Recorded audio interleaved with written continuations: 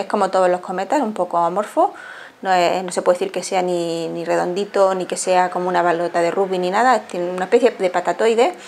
está rotando como cualquier cuerpo en el sistema solar tiene su propio periodo de rotación,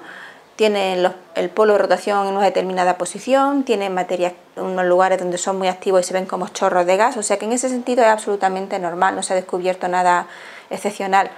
El primer descubrimiento excepcional ha sido la semana pasada y la anterior cuando se vio que era activo a longitud, a distancias del Sol muy grandes, pero por lo demás no tiene nada excepcional.